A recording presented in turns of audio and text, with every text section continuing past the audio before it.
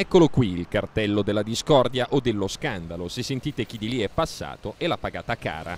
Piazzale Negrelli, vista sul naviglio, periferia che di più non si può.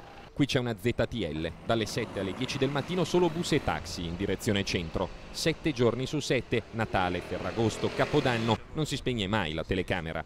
Il cartello è fissato al semaforo, lassù in quota. L'hanno abbassato di una ventina di centimetri, c'è ancora il segno di dovera sul palo scrostato. Nessuna indicazione luminosa, nessun orologio digitale per togliere i dubbi a chi arriva a ridosso delle 7 o delle 10. Insomma, segnalata sì, ma coi piedi. E alla fine l'assessore Granelli ha ammesso che si poteva fare meglio, annunciando la cancellazione delle multe staccate in questi nove mesi.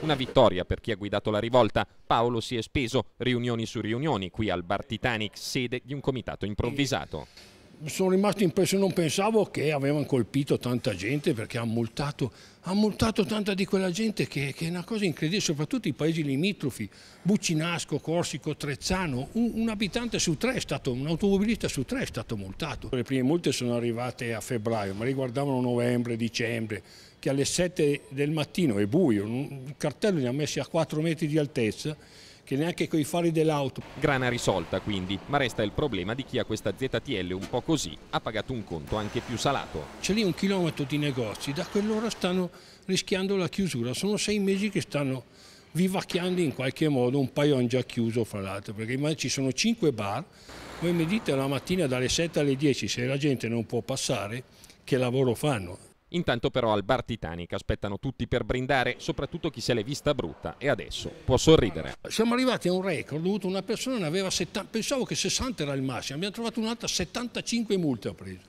C'è gente poi si impressiona, ha pagato subito, adesso non so se riuscirà a avere il rimborso.